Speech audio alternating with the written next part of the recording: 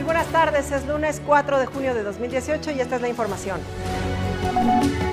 Tlaxcala es el único estado que promueve su comida tradicional en México y Latinoamérica en los restaurantes de la cadena Sanborns. Ante la onda de calor, población extrema precauciones para evitar afectaciones por la intensidad de los rayos ultravioleta, en especial con menores en edad escolar. Definirá la Secretaría de Educación Pública los beneficiarios de la beca Tu Prepa Terminada, para la que recibieron 5.000 solicitudes en todo el estado. En los deportes, Neymar roba reflectores en su regreso a las canchas y hace soñar a Brasil con una sexta Copa del Mundo. En Información Nacional, México ofrece a Guatemala apoyo técnico ante erupción volcánica.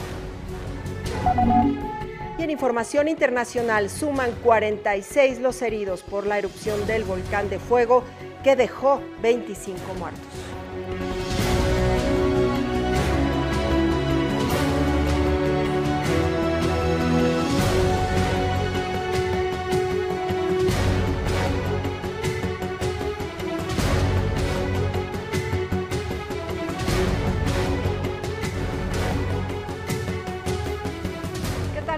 Tardes, gracias por acompañarnos, por iniciar la semana con nosotros. Agradecemos que se quede aquí, tenemos mucha información y con gusto saludo como siempre a mi compañero Mario Romero. Mario, ¿cómo estás? Hola Carla, muy bien, muchísimas gracias. ¿Tú? También muy bien, muchas gracias. Qué bueno, qué gusto saludarte y sobre todo saludarlo a usted que nos sintoniza esta tarde. Sí, en esta la segunda emisión de Ahora Noticias. Le damos la más cordial bienvenida a quienes nos ven a través de Tlaxcala Televisión o nos escuchan a través de Radio Altiplano, Radio Tlaxcala y Radio Calpulalpa. Así es, y también estamos en Facebook, ahí nos encuentra como Sistema de Noticias Tlaxcala. Siempre es un gusto recibir ahí saludos y comentarios, vamos a estar muy pendientes. En Twitter también estamos en la cuenta arroba Tlaxcala ahora. Personalmente me puede seguir en la cuenta arroba noticias Carla CH. Perfecto. Manténgase en contacto con nosotros. Estamos aquí para recibir, ya lo decía Carla, todos y cada uno de sus comentarios. Hágalos llegar y aquí con mucho gusto los damos a conocer. Carla, amigos, son las 2 de la tarde, con 2 minutos, 26 grados la temperatura en Tlaxcala capital. ¿Qué les parece si vamos a las noticias? Arrancamos. Mire, la gastronomía tlaxcalteca estará presente durante el mes de junio, sí, todo este mes de junio en los restaurantes de la cadena Sambors. Luego de que el viernes pasado fuera inaugurado el quinto Festival Regional Gastronómico de nuestro estado. El secretario de Turismo Roberto Núñez, en representación del gobernador Marco Mena, inauguró en la Ciudad de México el quinto Festival Regional Gastronómico Tlaxcala en Sanborns, actividad que promoverá durante todo el mes de junio la comida tlaxcalteca en la cadena restaurantera que opera en México y Latinoamérica. En la Plaza Loreto, antigua fábrica de Loreto y Peña Pobre, Roberto Núñez destacó que la comida tlaxcalteca define su identidad cultural, misma que ha traspasado fronteras. Es decir, la cocina de Tlaxcala es prehispánica, mestiza y moderna. La herencia de esta cocina está presente incluso más allá de su territorio original. En el norte del país, por citar un ejemplo, podemos encontrar el pan de pulque en Coahuila y los dulces de leche en Nuevo León, herencia y conocimiento de nuestros antepasados tlaxcaltecas. Roberto Núñez resaltó que el Festival Regional Gastronómico es para Tlaxcala una ventana para que los comensales conozcan y disfruten una pequeña porción de lo que es la entidad y se enamoren de sus sabores y cultura. Tlaxcala, origen de la nación, un estado ubicado estratégicamente en el centro del país, a dos horas de viaje de esta Ciudad de México y perfectamente bien conectado con otras capitales de entidades federativas aledañas, Puebla, Hidalgo, Estado de México, Querétaro, Veracruz. Tlaxcala, grande en historia, llena de cultura, tradiciones, gastronomía y sobre todo en su gente que con esmero y cariño recibe a los visitantes. Enseguida del acto se presentó un programa cultural con las danzas y música más representativas de Tlaxcala, así como una expo artesanal. El Festival Gastronómico Tlaxcala en Sambors inició el 1 de junio y estará durante todo el mes en sus más de 200 sucursales en México, El Salvador y Panamá, donde se ofrecerán siete platillos distintivos de la comida típica tlaxcalteca en desayunos, comidas y cenas. Con información de Adán Morales, ahora noticias. Y precisamente el secretario de Turismo en la entidad, Roberto Núñez Baleón, informó que la gastronomía de Tlaxcala es una excelente área de oportunidad para atraer a un mayor número de visitantes, por lo que permanentemente se trabaja con diversas estrategias. Núñez Baleón también detalló que durante el año pasado, el 2017, arribaron a Tlaxcala 550 mil visitantes, principalmente del centro de nuestro país. Este año esperan superar esta cifra al iniciar aproximadamente ya el avistamiento de las luciérnagas en Anacamilpa y otras festividades, como es la noche que nadie duerme en Guamantla y la feria de Tlaxcala. Escuchemos. Por supuesto que desde este aspecto eh, los visitantes y el turismo siempre buscan sabores nuevos, experiencias nuevas. Y entonces una palanca importante dentro de la política pública del turismo en Tlaxcala es la gastronomía, fomentar la gastronomía, colocar a la cocina de Tlaxcala como una palanca y como un ancla para que podamos tener mayores visitantes. Y Tlaxcala, sí, nuestro estado es la única entidad que cuenta con su festival gastronómico en esta cadena de restaurantes porque se ha mantenido en el gusto de los comensales. Por su riqueza cultural y gastronómica, Tlaxcala se posiciona como la única entidad en el país en mantenerse con un festival gastronómico en la cadena de restaurantes Sanborns. El director de operaciones de la franquicia, José Manuel Campo, Destacó que la comida tlaxcalteca ha tenido una extraordinaria aceptación entre comensales. Entonces, cada que hacemos un festival, eh, la recibe muy bien. Ahora sí que prueba los platillos típicos de cada lugar.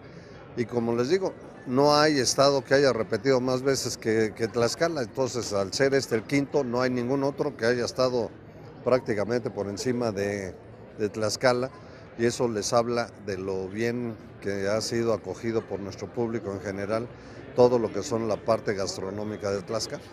Además de su gastronomía, la entidad mostrará artesanías y parte de su cultura en cada sucursal de todo México y Latinoamérica.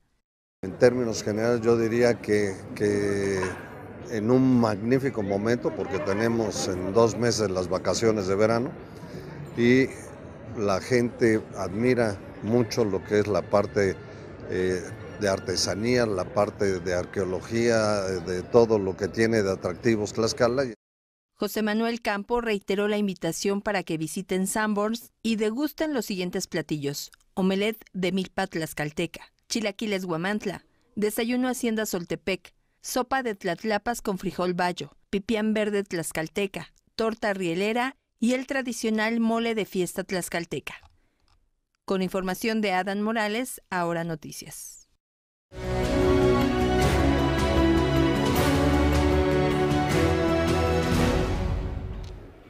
Son las 14 horas con 8 minutos. Estamos en nuestra sección del día.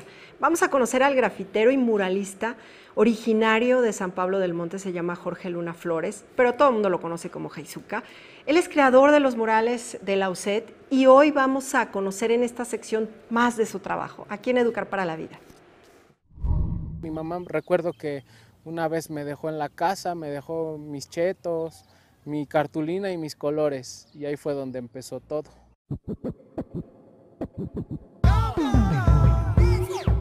Él es Jorge Luna Flores, mejor conocido como Jesiuca, grafitero y muralista oriundo de San Pablo del Monte y que encontró en la pintura la mejor manera para expresarse. Llevo 15 años grafiteando 15, 16 años. Ahí en el bachiller tuve un compañero que se llama José María y este, él, me acuerdo que rayaba mucho sus libretas. Él este, pues me llamaba la atención qué, qué era lo que hacía y me decía que era graffiti. Fue como le empecé a preguntar, me dio una placa, empecé rayando tiendas, postes, camiones. Fue como un punto de partida. Yo creo que eso hace que vayas siempre por más. México al Pacífico, mi arsénico es colérico, me clasifico ecléctico, un críptico en el ático. Jessiuca reconoce que sus inicios en las calles no fueron los mejores, pero gracias a ellos ha logrado sobresalir en el mundo del graffiti. A lo que nos dedicamos nos gusta expresar todo lo que está en nuestro entorno. Ahora sus creaciones decoran las paredes de diversas escuelas de la entidad y de la Unidad de Servicios Educativos de Tlaxcala, como parte del programa Murales en tu escuela, que impulsa el Departamento de Servicios Culturales de la Secretaría de Educación Pública del Estado. Hay eventos, hay convocatorias, este, el graffiti fue rompiendo barreras. Lo chido de esto es que van diferentes tipos de personas. Entonces, entre una y otra cosa, estábamos realizando un mural y pues fue como se acercaron este, unas personas del departamento y pues quisieron intentar algo diferente, ya algo con graffiti, con aerosol. Me invitaron a hacer un mural y así de uno fueron dos y empezamos a hacer este murales pequeños de 4x2 hasta que ya nos empezamos a extender 8x3. La misma demanda nos fue este, llamando. En las instalaciones de la UCET se cuentan al menos 20 murales. Todos hablan sobre la historia de Tlaxcala, sus tradiciones, personajes, gente, símbolos y comida. Mientras que en las escuelas Gesiuca ha dejado su trabajo inmortalizado en al menos 60 instituciones, labor que dice le ha dejado gratas satisfacciones, sobre todo por el contacto con las nuevas generaciones. El mexicano es cultura, graffiti, rap sin censura, tu línea una basura, no es suficiente.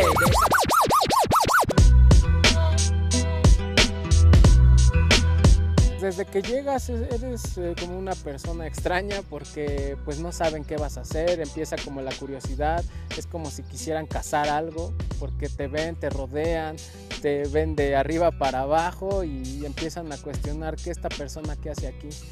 Sacas, un, sacas una maleta y la abres y la vacías así de golpe y sacas un buen de colores y dicen van a hacer un mural y todo eso, se impresionan, empiezan, ellos se acercan, tienen confianza y pues lo mejor de todo esto es que te comparten lo que hay dentro de ellos. Y honestamente, de todas las escuelas que he visitado, los niños, todos, todos, todos, todos, la mayoría me han dicho, dice, qué bonito se ve, qué padre, te motivas, te motiva bastante pintar para, para los niños que realmente los murales son para ellos. Estas acciones, si bien se enmarcan en el nuevo modelo educativo, que tiene como propósito acercar la cultura y el arte a las instituciones educativas de todos los niveles y edificios del sector, también cumple con otro objetivo muy importante, romper los mitos de que el graffiti solo se ve en las calles. Dibujo a mi hija porque pues yo siento que es lo mejor que he hecho en la vida. La plasmo porque pues no sé, cometo algún error, ella me perdona, ella todo, ella te alienta, ella te motiva. Entonces prácticamente la he dibujado más de 15 veces en varios lados.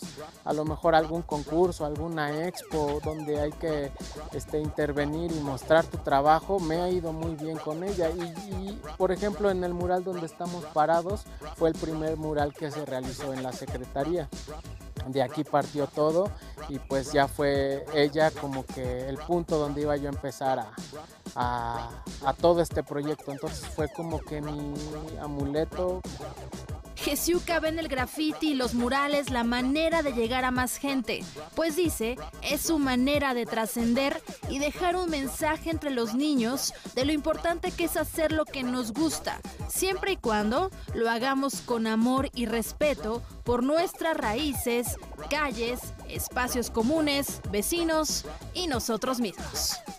Con imágenes de Miguel Alariz, edición Adrián Vargas, Mariana Lovera, ahora noticias. Carla, amigos, un verdadero talento, ¿no? Este sí. joven de San Pablo del Monte, que ya ahí está, mire, más que si usted nos sigue por televisión, sí. por Face, se habrá dado cuenta del talento, del arte que tiene este joven tlaxcalteca. Así es, conocido como Jesiuca, ya él pues ha pintado de color diferentes murales eh, institucionales, a pesar de ser un arte urbano, ha hecho una buena mezcla y la verdad es de reconocer este trabajo de este, este tlaxcalteca. El gobierno de México puso a disposición de las autoridades de Guatemala todo el apoyo y la asesoría técnica necesarios ante la erupción volcánica ocurrida este domingo y que mantiene al menos a cinco poblaciones en alerta roja. Por instrucciones del presidente Enrique Peña Nieto, la Secretaría de Gobernación, a través de Protección Civil, se solidariza con el pueblo de Guatemala y pone a su disposición apoyo y asesoría técnica para hacer frente a los efectos de la erupción del volcán de fuego. Dio a conocer el titular de la Secretaría de Gobernación, Alfonso Navarrete Prida, en su cuenta de Twitter, arroba Navarrete Prida. Autoridades guatemaltecas declararon alerta roja en las poblaciones de Escuintla, Alotenango, Zacatepeques, Yepocapa y Chimaltenango, impactadas por la segunda erupción de este año del volcán de fuego, cerca del oeste de la capital del país. El presidente Enrique Peña Nieto felicitó a Pedro Sánchez Pérez Castejón por su reciente toma de protesta como presidente del gobierno de España. En una llamada telefónica, el mandatario mexicano destacó que España es un país entrañable para México, con el que nos une fuertes lazos históricos y manifestó el presidente español su interés por seguir trabajando conjuntamente, a fin de continuar fortaleciendo el diálogo político y la cooperación bilateral. Pedro Sánchez Pérez Castejón, quien es también secretario general del Partido Socialista Obrador Español, tomó posesión como presidente del gobierno de su país el pasado sábado 2 de junio. El candidato presidencial de la coalición Todos por México, José Antonio Meade, anunció la tarde de ayer domingo en Pachuca Hidalgo que su gobierno corregirá la injusticia que en muchas ocasiones viven las jefas de familia y que uno de sus principales compromisos es ofrecerles becas para que terminen su educación, tengan empleos formales y puedan desarrollarse. El abanderado presidencial enfatizó que la mejor herramienta para transformar al país es la educación, pues permite contar con los instrumentos que requerimos para salir adelante. En su mensaje, José Antonio Meade reiteró que en materia de seguridad no hay atajos, ni puede haber ocurrencias, sino un compromiso serio que empieza con la prevención, continúa con la disuasión y termina con que todos en México sepan que cada denuncia será investigada y que no habrá impunidad. Durante su estancia en Hidalgo, en tres eventos realizados en distintos puntos de Pachuca, José Antonio Meade congregó a más de 25 mil personas que refrendaron el apoyo a su candidatura. La hacienda Sotuta de Peón es un viaje al pasado en el corazón de la otrora zona enequera de Yucatán. Data de fines del siglo XIX y guarda en cada una de sus paredes, jardines y planteles la época de esplendor comercial del llamado oro verde. El monumento histórico con una extensión de 500 hectáreas, de las cuales en 200 se planta el enequén, es una hacienda viva, un museo impresionante en el que muestran el proceso para trabajar la fibra del enequén. Existe un recorrido con una duración de tres horas y se divide en dos partes. La primera tiene que ver con la historia de la hacienda e inicia en la casa museo, donde su arquitectura y decoración expresan la elegancia y tradición asociadas con la exitosa era del oro verde. La segunda parte del recorrido consiste en abordar los llamados truck para visitar los campos del Enequén, la Casamaya y el cenote Zulja, un espejo de agua fresca y cristalina. Estamos eh, con más de la información de nuestro estado, también sobre este clima que hemos tenido aquí en Ahora Noticias. Se realizó un sondeo y le damos a conocer cómo es que protegen madres y padres de familia a sus hijos en edad escolar. Por las altas temperaturas que se han registrado en Tlaxcala, madres y padres de familia adoptan medidas para proteger a los menores de edad, sobre todo a la hora de salida de la escuela.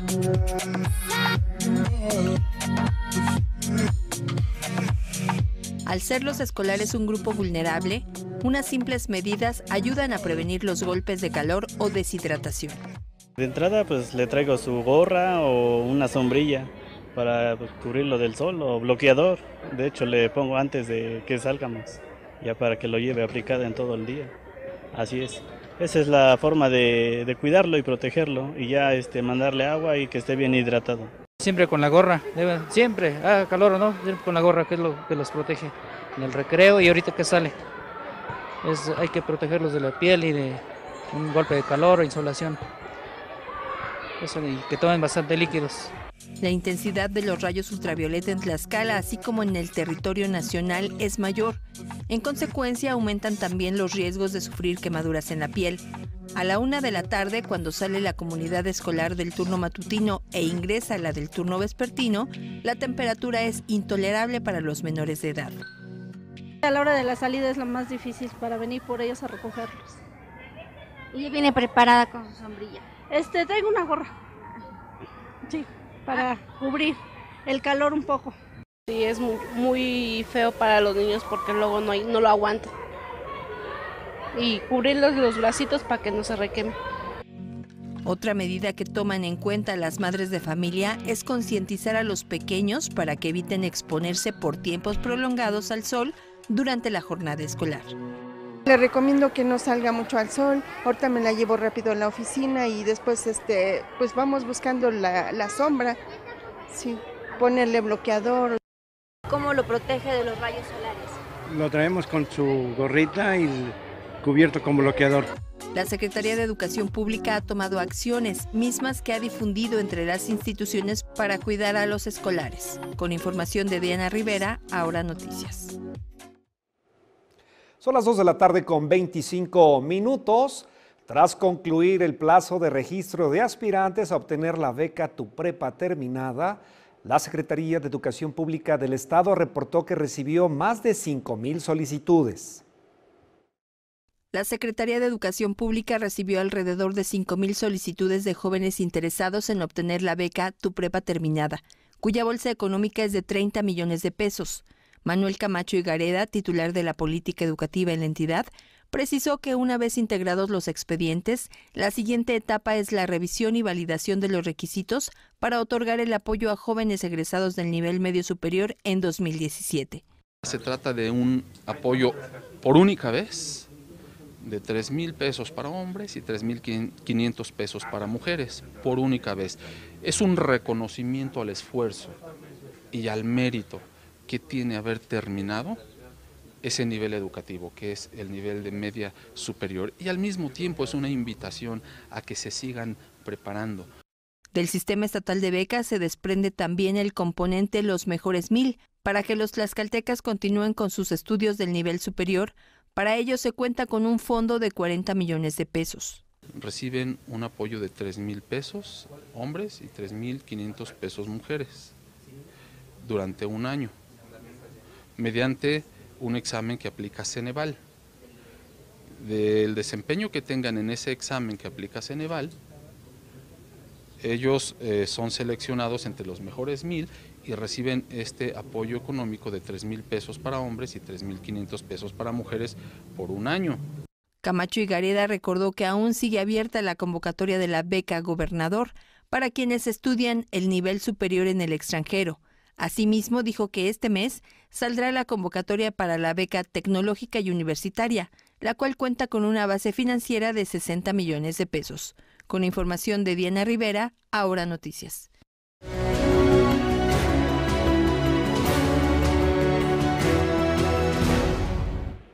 Son las 14 horas con 27 minutos. Vamos a la información internacional. Suman ya 46 los heridos por la erupción del volcán de fuego en Guatemala. Esto también eh, suscitó 25 muertos. Autoridades de protección civil de Guatemala informaron que continúan las labores de rescate en las zonas de tres departamentos impactadas por la erupción del volcán de fuego ayer domingo, que causó 25 muertos en tanto que la cifra de heridos subió a 46. El vocero de la Coordinadora Nacional para la Reducción de Desastres, David de León, informó que además de las víctimas mortales se contaban hasta la mañana de este lunes 4 de junio 46 heridos, 3.265 desalojados en áreas de riesgo y 1.364 personas en albergues. Destacó que elementos del ejército rescataron esta mañana a seis personas que estaban aisladas desde la tarde de ayer en la comunidad Los Lotes, Escuintle. El rescate se efectuó con un helicóptero de la Fuerza Aérea Guatemalteca. La policía francesa inició el lunes un nuevo operativo para retirar a casi mil migrantes de campamentos improvisados. Cerca de 550, principalmente afganos, estaban instalados cerca del canal San Martin. Otros 450 fueron retirados de un campamento al norte de Port de la Chapelle. Una semana antes, unos mil migrantes habían sido evacuados en la zona del canal Saint-Denis. En ese campamento vivían principalmente personas oriundas de Eritrea y Sudán del Sur, que fueron llevadas a alojamientos temporarios. Francia recibió un récord de 100.000 pedidos de asilo en 2017. Según cifras oficiales, el estatus de refugiado fue concedido a 30.000 personas, mientras que casi 15.000 fueron expulsadas. La marcha del orgullo gay de Sao Paulo, considerada una de las mayores del mundo, salió el domingo a la calle con un marcado discurso político. Bajo el lema Poder para LGBTI, nuestro voto, nuestra voz, cientos de miles de personas se aglomeraron en la céntrica Avenida Paulista para la vigésimo segunda edición del desfile, que en esta ocasión coincide con año electoral en Brasil. Los asistentes a la marcha entonaron consignas contra el presidente conservador Michel Temer y cuestionaron la falta de resultados en la investigación del asesinato de la activista Marielle Franco en Río de Janeiro hace más de dos meses. Marielle era una reconocida portavoz de minorías, en particular de las mujeres negras y de la comunidad LGBT. Decenas de migrantes murieron el fin de semana frente a las costas de Túnez y Turquía, intentando llegar a Europa. Unas 70 personas pudieron ser socorridas y se recuperaron casi 50 cadáveres, pero las autoridades estiman que muchos más podrían haber muerto. La embarcación fue avistada por la noche cuando estaba a punto de hundirse cerca del archipiélago de Kerkená. Entre los migrantes rescatados había 60 tunecinos, un libio y 7 personas originarias de países del Magreb o el África subsahariana.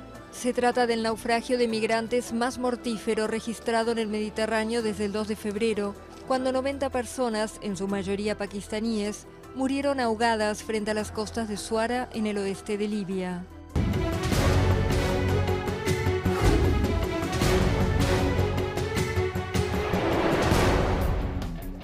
14 horas con 33 minutos y es momento del deporte aquí en este noticiero. Mario. Así es, Carla, recibimos con gusto a nuestro amigo Pepe Hernández, el señor de los deportes. ¿Qué tal, Pepe? ¿Cómo estás? ¿Qué tal compañeros? ¿Cómo están? Muy bonita tarde para ustedes, por supuesto, para nuestro auditorio que nos sigue a través de radio y televisión. Más que listos ya en este espacio con Ahora Deportes, lo más relevante de la Copa del Mundo de Rusia 2018 y por supuesto de nuestros Tlaxcaltecas en la Olimpiada Nacional y Juvenil. Adelante con esto, Pepe. Muchísimas gracias, Carla Mario Auditorio. Arrancamos ahora deportes y hablemos de una selección favorita para levantar nuevamente la Copa del Mundo. Estamos hablando de Brasil, quienes tuvieron partido este fin de semana y el que se llevó todos los reflectores fue Neymar. La actuación del brasileño Neymar Jr. en el amistoso de la selección contra Croacia reactivó los ánimos en Brasil de cara al Mundial de Rusia, donde comentaristas, exjugadores y la prensa sueñan con el sexto campeonato. De vuelta a los terrenos de juego después de tres meses de ausencia por una lesión en el pie derecho, Neymar mostró la víspera que vuelve a ser un jugador desequilibrante, rápido, dinámico y con una capacidad extraordinaria para marcar. El marcador del amistoso entre Brasil y Croacia terminó 2 a 0 y dejó buenas sensaciones para los sudamericanos. Aunque solo jugó la segunda parte del encuentro disputado en Liverpool por decisión propia, Neymar es ya el jugador mejor valorado por los aficionados brasileños según una encuesta publicada. Pues no solamente anotó el gol, sino también tuvo un gran funcionamiento, así que Neymar de los jugadores a seguir en esta justa deportiva. Ya que estamos hablando de las actividades y justas deportivas en el ámbito nacional, en estos momentos estamos viviendo actividad en la Olimpiada Nacional y Juvenil y precisamente para darnos un resumen de cómo le está yendo a nuestros claxcaltecas, hacemos contacto vía telefónica con Giovanni Valdés. Giovanni, ¿cómo estás? Adelante con el reporte. ¿Qué tal, Pepe? Amigos del auditorio, muy buenas tardes. Pues nos encontramos en Sinacantepec, Estado de México, donde pues Tlaxcala estuvo cerca de meterse al medallero de Olimpiada Nacional en frontón, modalidad mano individual, tres paredes juvenil A, de parte de José Luis González Muñoz. En la fase clasificatoria, el oriundo de Chalostoc venció a Cristian Rosas de Coahuila 15 a 4. En el segundo partido derrotó con claridad al mexiquense Carlos Monsalvo 15 a 8, suficiente para avanzar a semifinales. En esta fase, Tlaxcalteca pasó las de Caín ante el representante de Guanajuato, Abraham Moctezuma, y pues sin duda serie de errores le cuestan el partido 15 a 3 para aspirar solo a bronce. En el duelo por este metal enfrentó a Gael Castillo del Estado de México, donde pues no pudo obtener el ritmo de juego y pierde 15 a 9 para quedarse fuera sin duda de podio. En más actividades, trinquete, parejas juvenil set, la escala perdió ante Querétaro 15 a 2 y pues a Veracruz le gana 15 a 11, pero pues ya no avanzó a la siguiente fase. El día de mañana tendrán los chicos descanso para posteriormente enfrentar el miércoles ya sus duelos correspondientes también en tres paredes y donde se esperará que la escala pueda subirse al podio. Pepe, amigos del auditorio, este es mi reporte desde tierras mexiquenses. Muchísimas gracias Giovanni por esta información. Estaremos pendientes por supuesto de las actividades que restan y en donde habrá participación de nuestros Tlaxcaltecas, esperando que los resultados sean positivos. Que tengas muy bonita tarde. Buena tarde. Vamos a continuar con más de estos temas y también de la Olimpiada, donde sí hubo resultados positivos fue en el ciclismo y aquí le presentamos el reporte completo. Tlaxcala obtiene medalla de oro y plata en el ciclismo de ruta en Olimpiada Nacional Juvenil 2018. Fue sobre el circuito de la Comunidad de las Flores del estado de Aguascalientes, donde se realizó esta prueba de la justa nacional. En la prueba individual de la categoría C, 17-18 años, el primer lugar fue para el tlaxcalteca José María Ramírez, quien completó los 120 kilómetros con tiempo de 2.56.38. El pedalista asegura que este resultado fue el pago justo por su esfuerzo y trabajo de años atrás. Pues sí, me costó bastante y realmente como que yo lo presentía, yo lo sentía y realmente lo estuve deseando desde hace ya mucho tiempo. Dos competencias nacionales que no se me pudo dar y la verdad sí me dio un bajón, pero dije que ahorita en esta me desquitaba y sí se me dieron bien las cosas y mi preparación pues fue, fue mejor, me cuidé más en mi cuerpo, mi organismo y acá están los resultados. El segundo lugar fue para Ricardo Peña Salas de Baja California Sur, con tiempo de 2.56.38, y tercer lugar para Fernando Alexis Ortiz Picasso de Coahuila, con tiempo de 2.56.38. Por equipos en esta misma prueba, Tlaxcala subió al podio de segundo lugar de la categoría juvenil C, con la participación de Ángel Pérez Reyes, José María Ramírez, Gerardo Reyes Corichi y Ricardo Ramírez Flores. En tiempo total por equipos, Tlaxcala registró 8.53.33. El primer lugar fue para Baja California Sur con tiempo de 8.51.54 y el tercer lugar para Jalisco con un tiempo de 8.59.27. Auditorio Carla Mario, hasta aquí la información en Ahora Deportes. Nos estamos saludando más adelante en los diversos espacios informativos con más detalles del mundo deportivo en Tlaxcala y por supuesto del ámbito nacional e internacional. Que tengan una excelente tarde. Igualmente, Pepe, buenas tardes. Nos vemos en la noche. Gracias.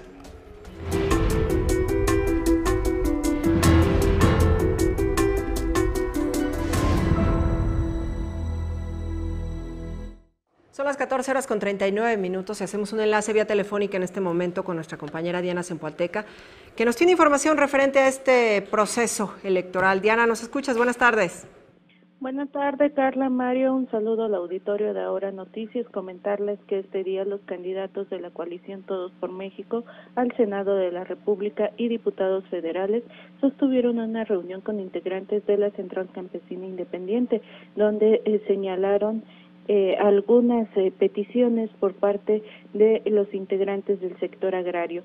Comentarte que como parte de estas se señaló la gestión de mayor presupuesto, un seguro agrícola accesible, también a atender eh, temas eh, relacionados con el cambio climático, la implementación de mayores zonas de riego en el Estado, financiamiento y disminución en los trámites burocráticos, apoyos en tiempo y forma y, bueno, pues eh, trabajar de la mano entre las autoridades y, quienes dirigen el sector agrario durante esta reunión donde estuvieron eh, presentes los candidatos al Senado de la República, Florentino Domínguez Ordóñez y Anabel Alvarado Varela, así como los candidatos a diputados federales, eh, Blanca Águila Lima, Sandra Corona Padilla y Mariano González Aguirre, pues se destacaron los diferentes compromisos que se tiene con el sector agrario en los que se eh, pidió haya certidumbre y apoyos al campo y los candidatos hicieron el compromiso por generar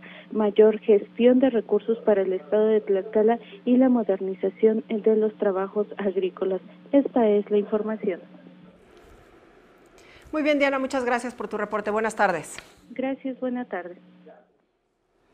Son las 2 de la tarde con 40 minutos. Vamos a conocer cómo se integra el Distrito Electoral Federal 03 con cabecera en Zacatelco y cuántos ciudadanos de esta demarcación podrán votar el próximo 1 de julio. Para la jornada electoral del próximo 1 de julio, en el Distrito Electoral Federal 03 podrán emitir su voto 308.900 ciudadanos de 28 municipios del Estado, resultado de la distritación aprobada y vigente para este proceso electoral.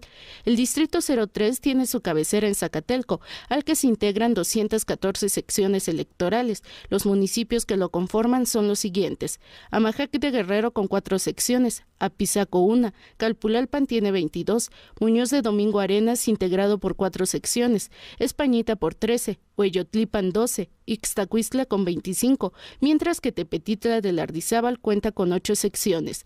El distrito también lo conforma Santorum con cinco secciones, Nanacamilpa con 10, Nativitas por 14, Panotla tiene 16, Tetlatlauca 7, 12 pertenecen a Totolac, Axaltocan 9, Xicotzinco 5, Yauquemecan cuenta con 11 y Zacatelco 14 mientras que Santa Apolonia Teacalco está integrado por dos secciones. Los municipios de Quiletla, Huatzinco, Texoloc, Zacualpan, Tecopilco, Nopalucan, Axocomanitla, Benito Juárez cuentan con dos secciones cada uno y Ayometla con cuatro. Diana Zempoalteca, ahora noticias. Y en más información, la CROC organizó una reunión para escuchar las propuestas de los candidatos de Todos por México y la Mega Alianza. La organización Amigos de la CROC se reunió para escuchar las propuestas de la candidata de la coalición Todos por México al Senado, Anabel Alvarado Varela, y de Enrique Padilla, abanderado de la Mega Alianza a diputado local en el Distrito 7. Los aspirantes expusieron que su intención es desde los congresos de la Unión y de Tlaxcala, contribuir en la creación de leyes y gestión de recursos para beneficio de la población. Anabel Alvarado recordó parte de sus logros mientras fue diputada federal. Y en el año y medio que estuvimos en la Cámara de Diputados, pudimos gestionarle al segundo distrito 50 millones de pesos de un fondo que se llama Fortalece, que lo mismo sirvió para arreglar una calle que para poner una techumbre. Aquí mismo en el municipio de Tlaxcala, que fue la última gestión que hicimos, cuando nuestro candidato a la presidencia era secretario de Hacienda, tuvimos la oportunidad de gestionar todavía en enero del 2017 7 millones de pesos para el drenaje de Tizatlán, que hoy está funcionando. Ahí de donde es mi amigo Enrique.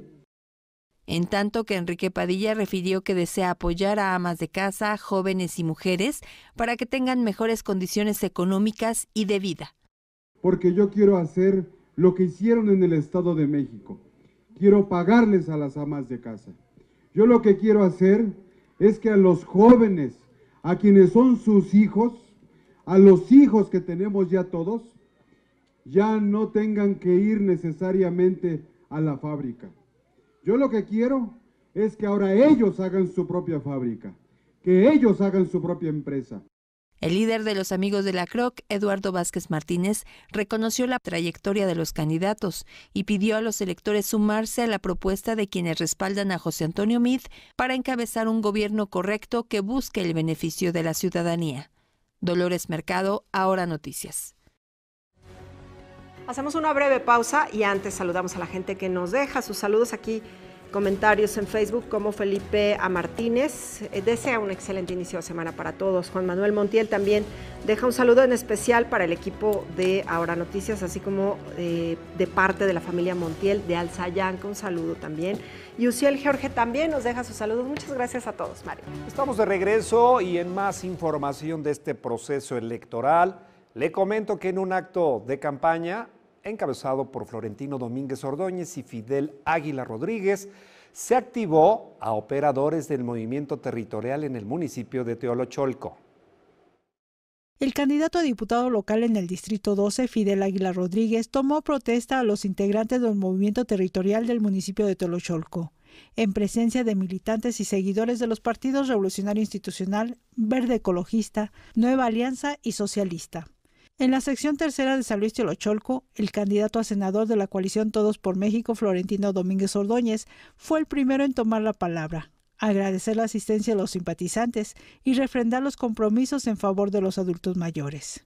Todos los candidatos del PRI estamos ofreciendo, para bien se viene, para las abuelitas y los abuelitos, estamos ofreciendo que tengan una casa donde no solamente vayan a platicar, donde no solamente vayan a jugar o que vayan a hacer ejercicio, sino una casa donde tengan comedor.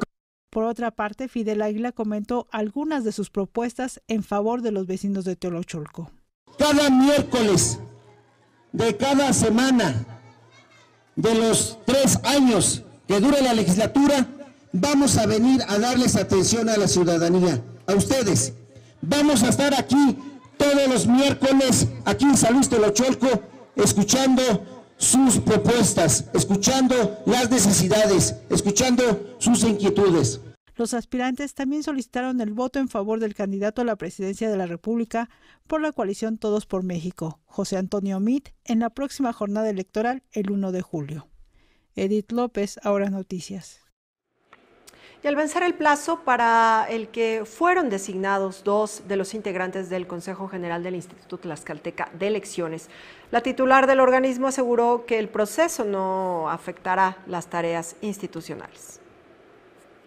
La determinación que pudiera aprobar el Consejo General del Instituto Nacional Electoral para modificar la fecha de designación de consejeros de los organismos públicos electorales locales, entre los que se encuentra Tlaxcala, no implicaría complicaciones para el desempeño del instituto, señaló en entrevista la presidenta del ITE, Elizabeth Piedras Martínez. Los plazos que concluyen en el mes de septiembre son para los integrantes del Consejo Yareli Álvarez Lima y Raimundo Amador García.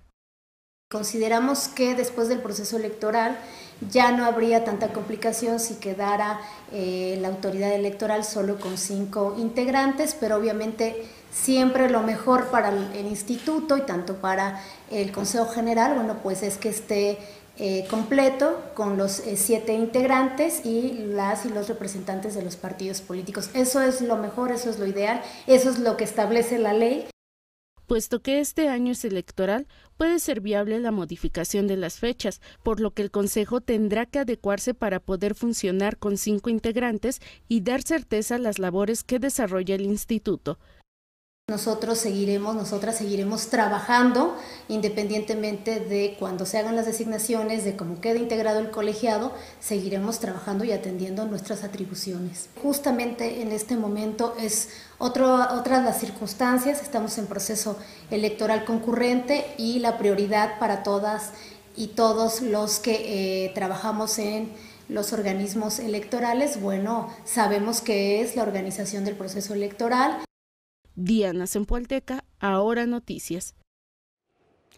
La candidata a diputada federal por el Distrito 02 de la coalición Todos por México, Blanca Águila Lima, pidió el respaldo de los ciudadanos a través de su voto el 1 de julio para concretar propuestas en el Congreso de la Unión. Blanca Águila, candidata de la coalición Todos por México a diputada federal en el Distrito 2, ante sus paisanos de San Luis Teolocholco, refrendó su compromiso de trabajar en favor de los niños, mujeres, trabajadores, obreros, en caso de ser favorecida con el voto ciudadano el 1 de julio. Sepan ustedes que trabajaré de manera esmerada. ¿Para qué? Para que vayamos a ver esas leyes, a reformarlas, a revisarlas, para que sean útiles a nosotros. ¿Útiles a quién? A las mujeres, a los niños, a los trabajadores, a los obreros, a los transportistas, sobre todo a la gente que somos de la clase popular. Yo aquí tengo mis orígenes. Aquí está mi origen paterno, por eso soy águila. Reiteró su interés por la instalación de un centro de salud en coordinación con las autoridades en beneficio de la comunidad. Necesitamos medicamentos al 100%. Necesitamos el equipamiento y aquí la construcción de un nuevo centro de salud. Aquí necesitamos y en todo el estado también requerimos de más personal y requerimos de equipamiento que nos sirva para poder, para poder acercar los servicios de salud. Eso es lo que ocupa como en primer lugar. Águila Lima acentuó su compromiso para trabajar en temas de seguridad, con policía única, profesional y mejor equipada. Combate a la corrupción, al fuero, la aprobación del presupuesto que garantice los programas sociales, el aumento al salario mínimo, becas a estudiantes y apoyo a adultos mayores principalmente. Edith López, Ahora Noticias.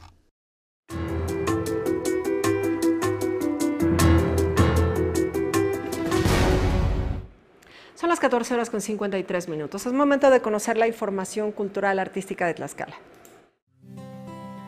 Como parte de las actividades del Fondo Regional Zona Centro en Tlaxcala, en el Centro de las Artes Hatsiri Peña Licea impartió el taller de sistematización de experiencias artístico y culturales entre la práctica y la investigación del 28 de mayo al 1 de junio a funcionarios del Instituto Tlaxcalteca de la Cultura.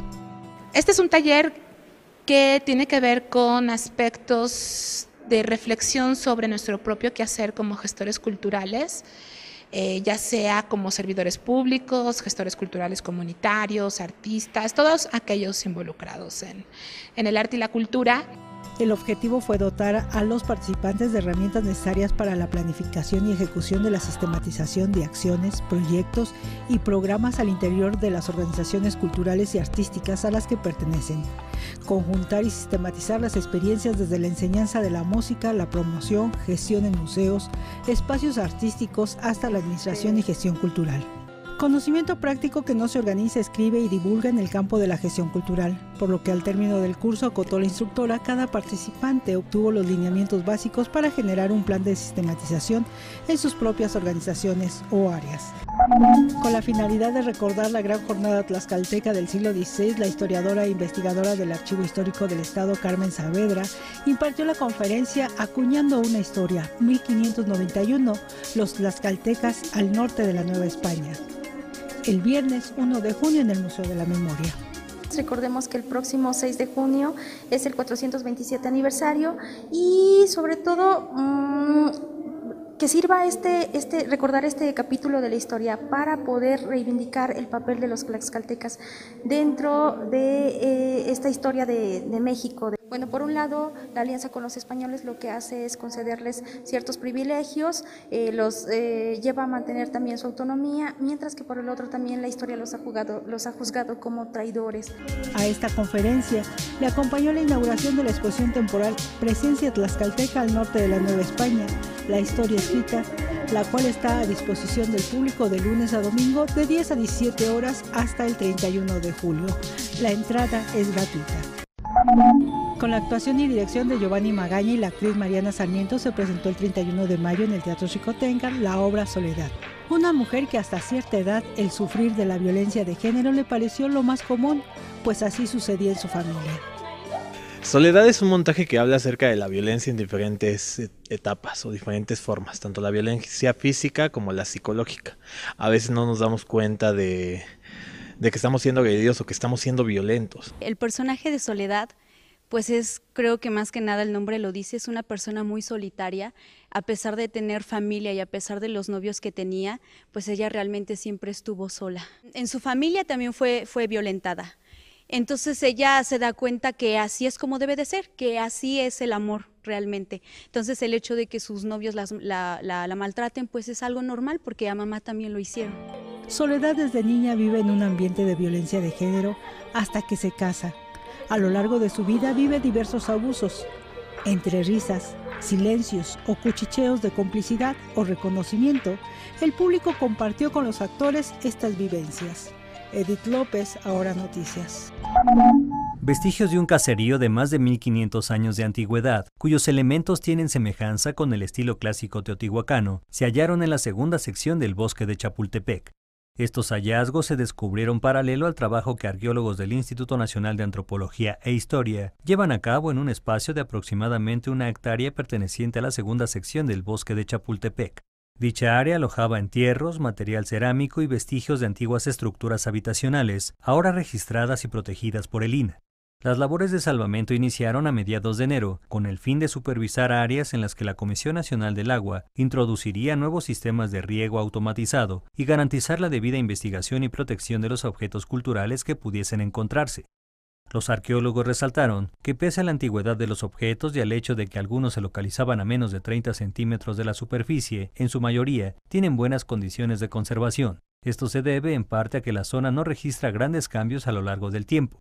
Una vez que concluyen los trabajos de salvamento, el área volverá a ser cubierta de cara a futuros proyectos de investigación y en pro de su conservación.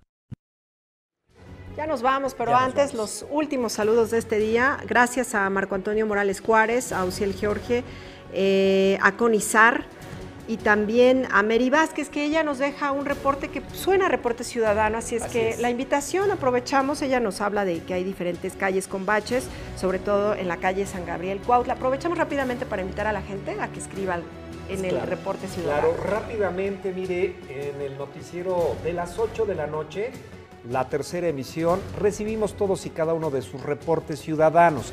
Nos marca usted al 246-126-0113, se lo repito, 246-126-0113. Y un mensaje de WhatsApp, Carla, amigos del auditorio, nos dice qué tipo de problema o servicio público deficiente hay en su colonia y con mucho gusto somos el conducto para hacérselo llegar a la autoridad correspondiente. Muy bien, bueno, pues ahí está la invitación para que siga conectando con nosotros a través de Facebook, en Twitter y ahora también en WhatsApp. Ya nos vamos, Mario. 5 de la tarde, un avance informativo y a las 8 de la noche la tercera emisión de Ahora Noticias. Gracias. Muchas gracias. Gracias, quédese aquí.